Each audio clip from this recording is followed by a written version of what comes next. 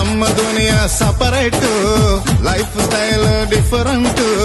ಹಗಲು ರಾತ್ರಿ ಸುಖವನ್ನ